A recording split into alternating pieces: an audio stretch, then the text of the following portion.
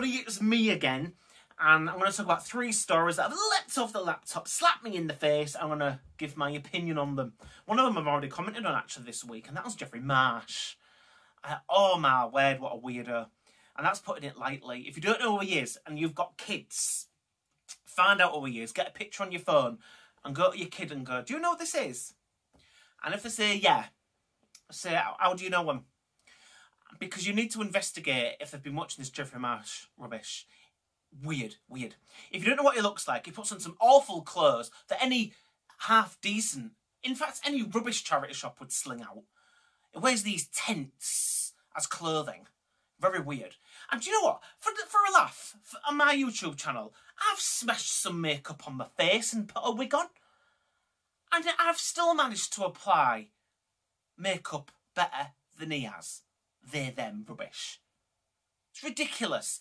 One of his videos, it's got chunk missing. It's not for the lip line at oh, all. It, it's creepy. It's freaky. It's obviously there just to indoctrinate the kids. And, and talks like this. People say it sounds like ASMR. Don't worry about going no contact. He talks like this. Very odd. Complete freaking weirdo. You must know his parents because you need to make sure your kids aren't listening to him because he'll pretend your kids against you. Even going as far as setting up a Patreon so it can talk to the kids in privacy between him and your kid. And you know what? You won't even know because your kid will probably steal your credit card or bank card and then use it to go and speak to Jeffrey Marsh without your knowledge. Unaccredited, mm, unqualified, inappropriate behaviour. That's that about Jeffrey Marsh. Oh, and there's two mass followings of people are either going to be A, like him, and B, already indoctrinated. Complete and utter fruitcake completely weird, and probably waves the bastardized pride flag and says, Ooh, I'm all about equality and this, that, and the other. Do you know what? Don't put my name on that flag. If that's what it entails these days, absolutely not. Okay? I am not part of that freak show of, well, lots of people have already gone into the full um, language of what they think is. I've got an annoyingly scare around certain words on YouTube because you know free speech comes with limitations, and I don't want to get a blue banner on my uh, studio YouTube account. No, you can't talk about this anymore, and you can't because you know what? You can't talk about the war. Mm, you know that one that's going on at the moment? I can't say the countries, I don't think. So I'm going to say it's the name of a bird and a letter of the alphabet. Flip it around. Against a country where if people are in a hurry uh, yeah, and if if if it was a lady, uh, a lady in a hurry. Get what I mean? It's ridiculous. You know what I'm trying to say, hopefully. But anyway, another news story is oh, is of um, a supermarket that launched in the UK a couple of years ago with one shop, and then had to close down because of the don't talk about the war and it's from that country. The, you know the big one, and they're running. They're planning to relaunch again, which is weird, isn't it? Because it's like, well, you're from a country that's caused a whole lot of riffraff, and so is the other country as well. I think they're both as bad as each other now, aren't they? And it's just it's just I'm going to go on forever. And obviously the governments and the media are going to use it for their advantage to rope people in and get narratives and this, that, and the other. Anyway, this is about a supermarket, and it was said to be um, the busy ladies version of Lidl and Aldi, except it isn't because this supermarket looks dreadful. It's called Mia, uh, M E R E, so Miri, Mira, whatever, and it looks awful. Pets at home for pets is nicer and more laid out and has better customer service, immensely so than what this Mirror place does, or Mia, or Mirror. So it says Busy Lady supermarket chain Mirror is planning. It doesn't say Busy Lady, obviously. Um, planning to restart operations in the UK. Last year, it had been dubbed uh, the Busy Ladies version of Lidl. Closed its first and only UK store in Preston after the invasion. Well, nobody wants that supermarket anyway even before then, it was struggling. It wanted to open up loads and loads of shops, but we're pretty much in a German supermarket owned country now. It's all about Lidl and Aldi. All the other supermarkets are all still struggling to change. So that's that story, really. I just think it's stupid that they're trying to relaunch the most ridiculous time. It's just stupid. I mean, whoever gets a job working in there uh, is probably going to be really desperate for a job, and they're just going to get barraged by customers with nothing better to do, nothing better to do, and they're just going to have a go at them. How could you work for a supermarket like this? that sort of stuff. And the last thing I want to comment on is there was a piece in uh, the Mail, uh, Daily Mail Online, and you know what they're like with their titles. They don't really have headlines anymore, do they? It's like head paragraphs. And it says, No dude goes unpunished. That's why it caught me attention. Staff who go the extra mile in their jobs are more likely to be exploited by their bosses, who view them as an easy target for ex- extra tasks, study shows. Catchy headline, isn't it? Let's see if we can do it in one breath. No good deed goes unpunished. Staff who go the extra mile in their jobs are more likely to be exploited by their bosses who view them as an easy target for extra task study shows. Oh, oh, don't we all know that? Flipping heck. You know I've, how many places I've worked at in the past. If you've not seen my series, all the places that I've worked at, look it up. It uh, starts with when I worked at, and then I go from A to Z. And from Argos to Zavvi.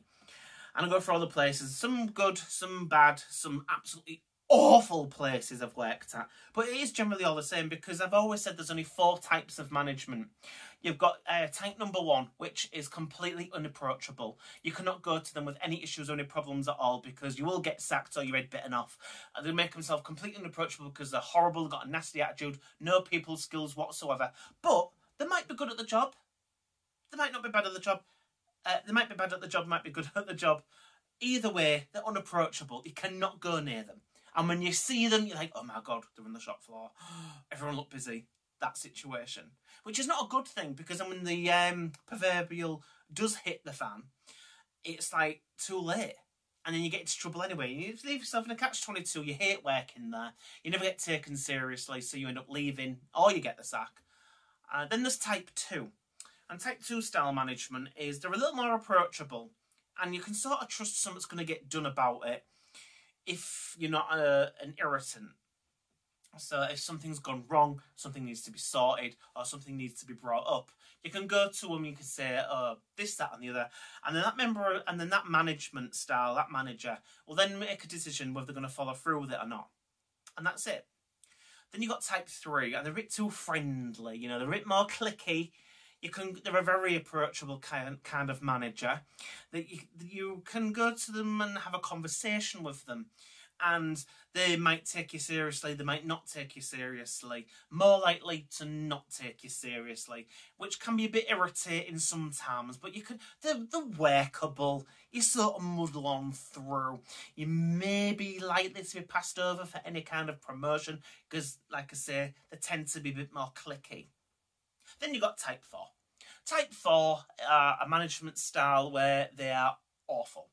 You're either in the clique or you're not. They either like you or they do not. And they will probably not do much work and they will get all their minions to do their work for them. And there you are. That's a that's my uh, information on you for four different types of management style. And you'll probably find it in nearly every place. Does any one of them ring a bell with you? Do you feel as if your management style, uh, manager's style, is either one, two, three, or four? You might think there's a bit of an in between thing. I mean, you might find that you love your manager, but you're thinking, hang on a minute, I actually do quite a lot of work for them, and they don't seem to do very much.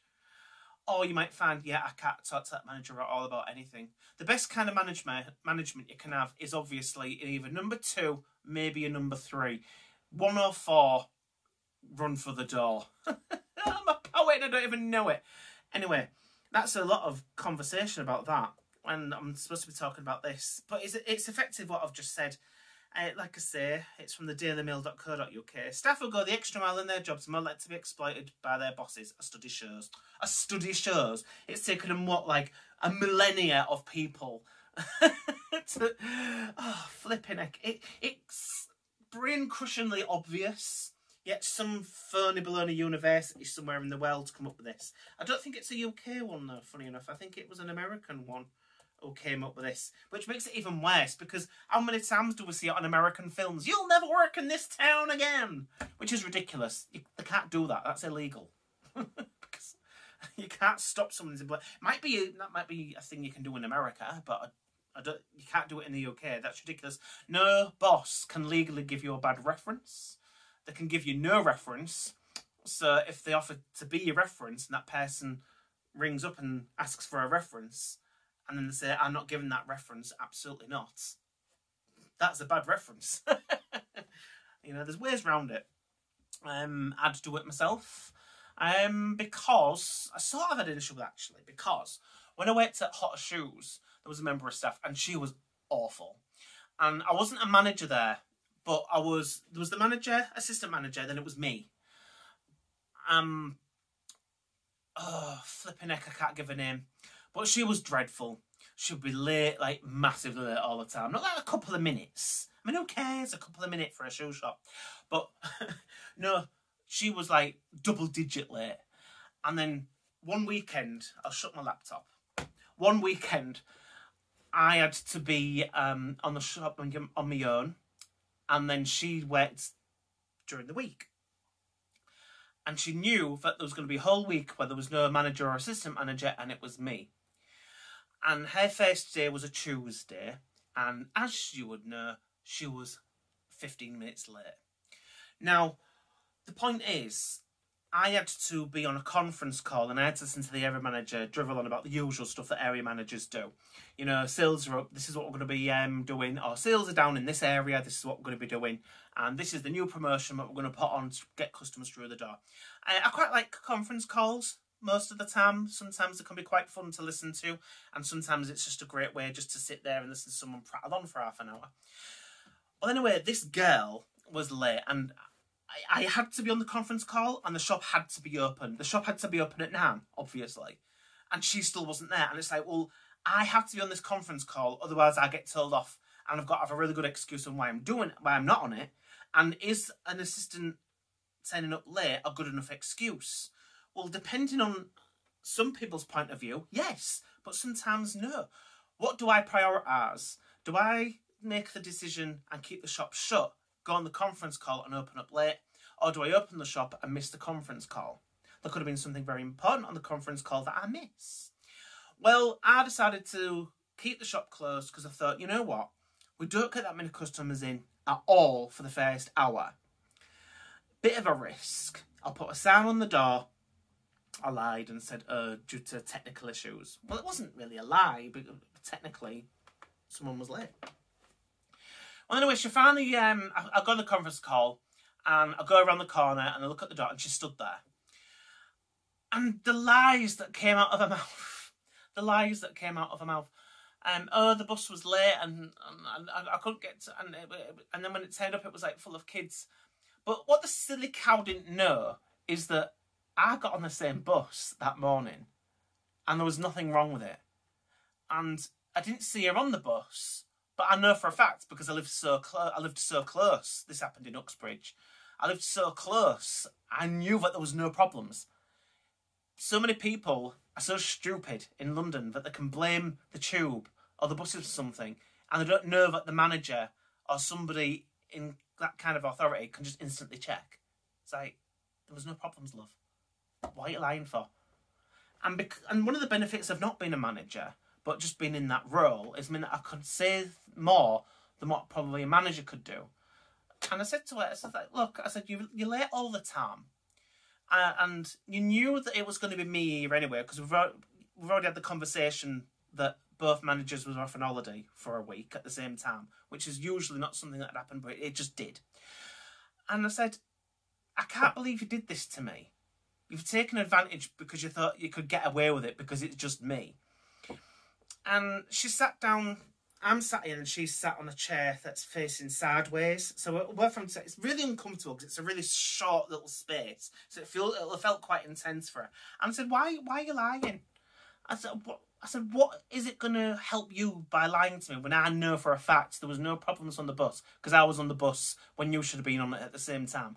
Because even though I didn't see her that day, I have seen her on the bus on previous days, but she's never seen me because my favourite bus seat. Anyway, you all know this anyway. My favourite bus seat on a bus, if you're a long term subscriber.